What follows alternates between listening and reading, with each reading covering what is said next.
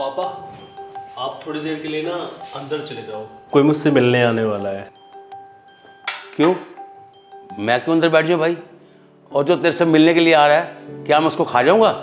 मैं तो नहीं बैठ रहा अंदर समझा?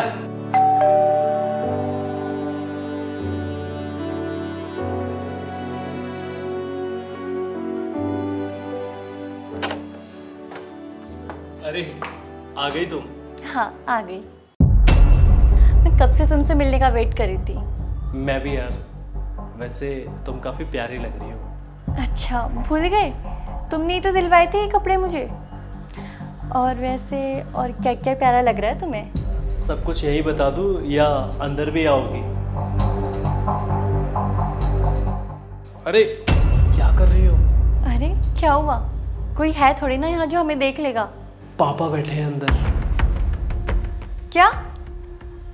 यश अगर तुम्हारे पापा घर पे हैं तो तुमने मुझे यहाँ क्यों बुलाया है? हाँ प्लान तो यही था। पापा कहीं जाने वाले थे लेकिन उनकी मीटिंग कैंसिल हो गई। तो तुम मुझे पहले भी तो बता सकते थे? मना कर देते? या ही मिल देते मुझसे? यहाँ तुमने मुझे मेरी बेइज्जती करवाने के लिए बुलाया क्या? शिवाली तुम ये कैसी बात कर रही हो यार?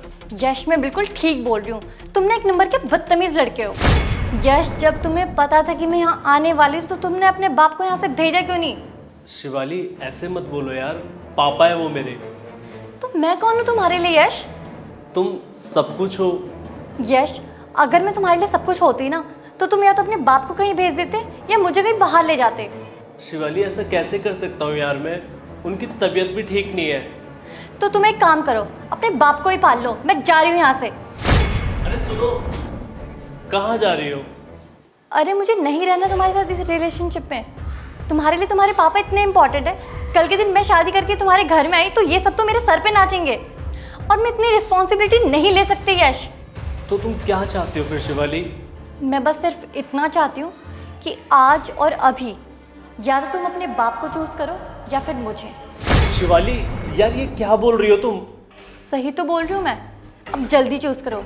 या तो बाप या फिर मैं? ऑब्वियसली तुम ही हो। लेकिन एक बार अंदर चलो मेरे साथ।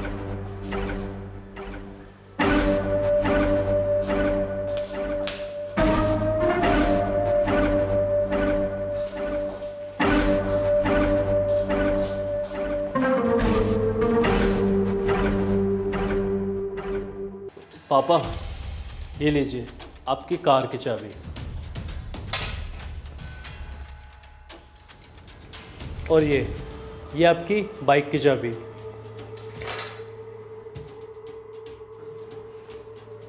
और ये आपका फ़ोन, जो आपने मुझे दिलाया था। और ये रहे आपके सारे पैसे।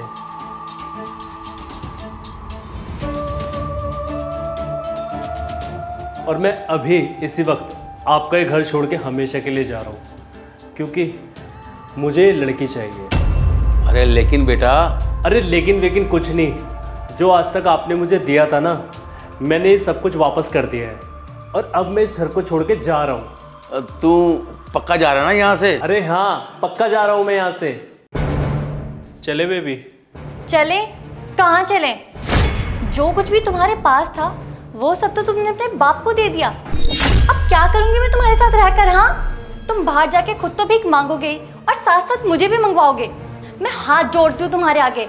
नहीं रहना मुझे तुम्हारे साथ, समझे?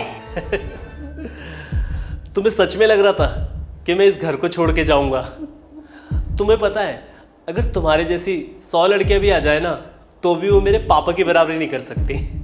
और उनकी ना, मेरे पापा के आगे कोई वैल्यू नहीं होगी। इसलिए तुम्हारे लिए यही बढ़िया होगा कि तुम यहाँ से अभी निकल जाओ।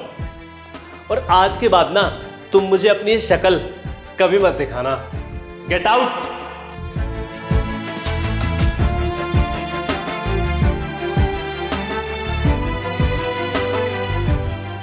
अरे यश ये सब क्या चल रहा है?